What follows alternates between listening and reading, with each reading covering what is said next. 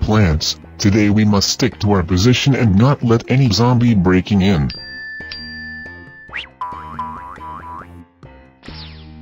Oh, I feel so boring. Sunflower, let's chat for a while. Uh, do you know who is the person command us to defend his land every day?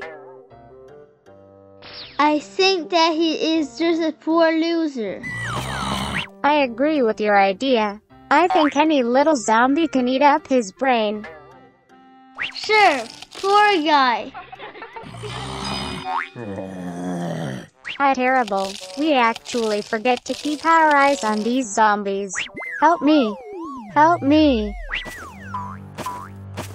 I hate my workers chatting at work. Chat at work.